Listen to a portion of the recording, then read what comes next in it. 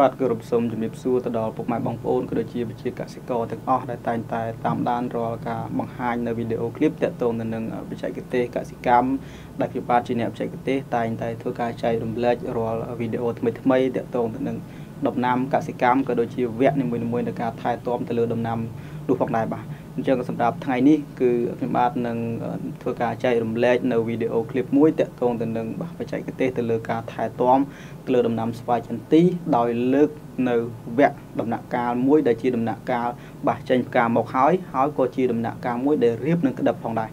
បាទអញ្ចឹងពុកម៉ែបងប្អូនលោកក៏ពិតជាមានការថែទាំក៏ដូចជាមានការយកចិត្តទុកដាក់តាំងតែពីដើមរដូវបាទមិនថាតែមានការកាត់តែមែកមិនថាតែមានការ កប់ជីឬក៏បាច់ម្សៅកំបោរកសិកម្ម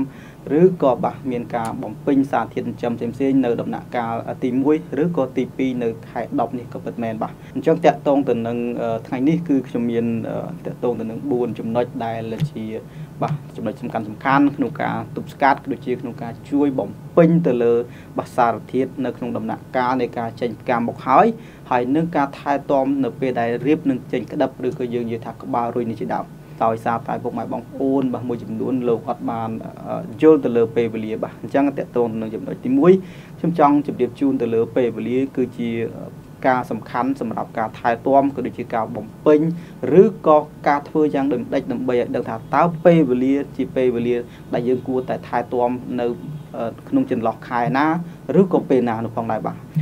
ហើយតើតងទៅនឹងចំណុចទី2នេះផងដែរបាទនៅក្នុងវគ្គ បាទចេញផ្កាមកហើយហើយក៏យើងធ្វើការថែទាំក៏ដូចជាការបំពេញទៅលើសារធាតុចិញ្ចឹមសំខាន់សំខាន់ដែលខ្ញុំតែងតែជម្រាបជូនថាការបំពេញបាទបន្តិចបន្តួចទៅលើផ្នែកទៅលើវគ្គនីមួយៗគឺជាការផ្ដល់ឲ្យជាការសំខាន់យ៉ាងចាំបាច់ដែលរុក្ខជាតិត្រូវការបាទ អញ្ចឹងតកតងទៅនឹងការផ្ដល់នៅសារធាតុចិញ្ចឹមដែលជាកសិករមួយចំនួនលោកហៅថាថ្នាំបាញ់ឬក៏ជីបាញ់នឹងជាដើមនឹងដែលភាសាផ្លូវការបច្ចេកទេសគឺសារធាតុចិញ្ចឹមចាំបាច់នឹងគឺតកតងទៅនឹងពពុះ phosphor ហើយនិង potassium បាទ phosphor និង potassium ដែលកសិករមួយចំនួនលោកតែងតែរត់មាត់ថាតកតងទៅនឹងពេលនឹងការអញ្ចឹងក្រៅពីពេលនឹងការនោះផងដែរដែលនៅក្នុងសារធាតុជីវាមានបាទ គ្រប់សពក៏ពិតមែនប៉ុន្តែរុក្ខជាតិមិនមែនមានន័យថាត្រូវការតែពេលនឹងការតែប៉ុណ្្នឹងទេបាទអញ្ចឹងក្នុងដំណាក់កាលនៃការថែទាំផ្កានេះផងដែរអ្វីដែលយើងទៅជួយទៅដល់ផ្នែកមួយដែលយើងតែងតែនិយាយថាដើម្បីឲ្យផ្កាស្រស់ដើម្បីឲ្យផ្កាទាំងអស់នឹងមានការជាប់បានល្អដើម្បីឲ្យផ្កាទាំងអស់នឹងបាទមានបាទភាពមួយធន់ទ្រាំទៅនឹងអាកាសធាតុក៏ដូចជាសត្វល្អិតផ្សេងៗមកបំផ្លាញហ្នឹងមានន័យថាប្រជាកសិករត្រូវទៅយល់ទៅលើ សារធាតុនៃជីមគេហៅថាសារធាតុរងនោះគឺតកតងទៅនឹងបោះបូរ៉ុនអញ្ចឹងនៅក្នុងដំណាក់កាលនេះបាទសូមឲ្យវិជាកសិករលោកមានការពិចារណាក៏ដូចជាស្វែងយល់បន្ថែមតកតងទៅនឹងបូរ៉ុនគឺការបាញ់ ក៏ដូចជាការបំពេញទៅលើការជួយចាប់ទៅលើតកតងទៅនឹងផ្ការុះឬក៏ក្តឹបរុះនោះផងដែរបាទអ្វីដែលជាដំណាក់កាលមួយដែលយើងមានការប្រុងប្រយ័ត្នក៏ដូចជាមានការថ្នាក់ថ្នមយ៉ាងខ្លាំងបំផុតទៅលើដំណាក់កាលនៃការចេញផ្កាហើយនឹងក្តឹបនេះជាទូទៅប្រជាកសិករគួរតែកុំគប្បីប្រើប្រាស់នៅសារធាតុបាសដែលយើងនិយាយថាក្តៅឬគឺសារធាតុច្រើនមុខលាឡំគ្នាដែលធ្វើឲ្យមានការប៉ះពាល់ទៅដល់ការ បង្កកំណើតឬក៏ការផ្សំនៃកកេសរញីឬកេសរឈ្មោលនៃផ្កាទាំងអស់ហ្នឹងឬក៏ការបង្កទៅជាការក្តឹបដែលធ្វើឲ្យអាលៀកឬក៏ធ្វើឲ្យរុះរយក៏កើតមានបាទតកតងទៅនឹងបាសចំណុចទី3ដែលខ្ញុំតែងជម្រាបជូនថាទៅរាល់ជីបាញ់បំពន់លើស្លឹកក៏ដូចជាថ្នាំពុលបាទផ្សេងផ្សេងតកតងទៅនឹងការកម្ចាត់ឬក៏ការពារទៅលើសត្វល្អិតមានន័យថាប្រជាកសិករ បាសត្រូវតែមានការប្រើប្រាស់ទៅលើការណែនាំតាមអ្វីដែលជាការណែនាំទៅលើសម្បកដបឬសម្បកកញ្ចប់ទាំងអស់ហ្នឹងឲ្យបានត្រឹមត្រូវដោយធ្វើយ៉ាងដូចម្ដេចដើម្បីកុំឲ្យបាជិះវៀងទៅលើការប្រើប្រាស់ទៅលើកម្រិតថ្នាំទាំងអស់ហ្នឹងគឺលើកម្រិត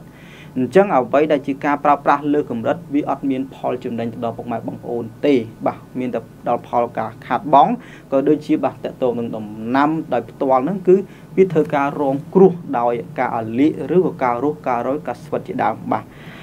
ហើយតកតងទៅនឹងចំណុចក្រៅពីនោះផងដែរដែលជាចំណុចចុងក្រោយដែលខ្ញុំចង់ជម្រាបជូនថាអ្វីត្បិតតែយើងមិនមានការ បាញ់ទៅលើសារធាតុណាដែលជាសារធាតុចិញ្ចឹមខ្ពស់ក៏ពិតមែនប៉ុន្តែអ្វីដែលយើងធ្វើតែមានការថែទាំនៅដំណាក់កាលចេញផ្កានៅក្តឹបនេះគួប3គួបជ្រើសរើសនៅប្រភេទដែលជាប្រភេទជីបំពន់លើស្លឹកដែលមានសារធាតុត្រជាក់ហើយមានសារធាតុនៃ NPK នោះគឺទាបផុតហើយសម្បូរទៅដោយក្រុមនៃមីក្រូសារធាតុដែលយើងតែងតែជំរាបជូនថាពពួក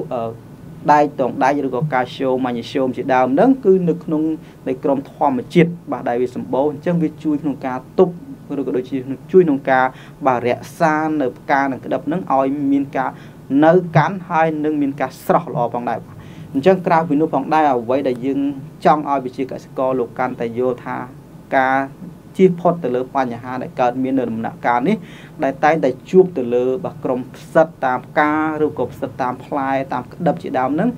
បបបីតែមានការបាទការពារមុនប្រសើរជាងជាបាលដែលខ្ញុំបាទតែជម្រាបជូនថាការប្រើប្រាស់នៅសារធាតុថ្នាំឬក៏ធាតុសកម្មនៃថ្នាំគប្បីមានការបាញ់បញ្ចូលទៅក្នុងការប្រើប្រាស់ជាមួយនឹងជីបំពន់ធម្មជាតិដែលមានសារធាតុប្រេងដូចជាបាទប្រភេទនៃជីធម្មជាតិបាទទឹក PN ហើយបូកជាមួយនឹងធាតុសកម្មនៃថ្នាំដែលយើងចង់ជម្រាបជូនថាដើម្បីការពាររាល់បពុផ្សិតឬក៏តកតងទៅនឹងភ្លៀងអាស៊ីតឬក៏សន្សើមប្រៃផ្សេងៗហ្នឹងយើងអាចបូកជាមួយនឹងធាតុសកម្មនៃថ្នាំដូចជាបាប្រូពីណេបបាទជាដើម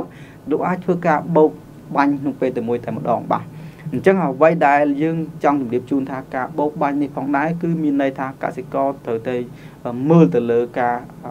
បង្ហាញឬក៏មើលទៅលើការណែនាំថាតើគួរប្រើនៅក្នុងកម្រិតណា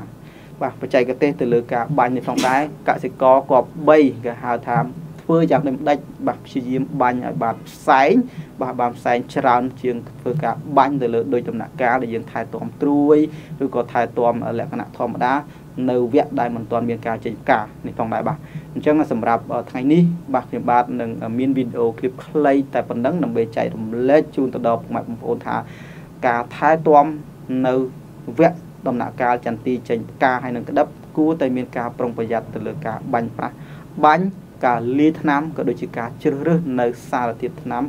ឬក៏ជីបំពន់ដែលមានសារធាតុត្រជាក់ដែលលោកខ្ញុំបាទតែងលើកឡើងថាជីធម្មជាតិ PN មានតួនាទីក្នុងការជួយថែ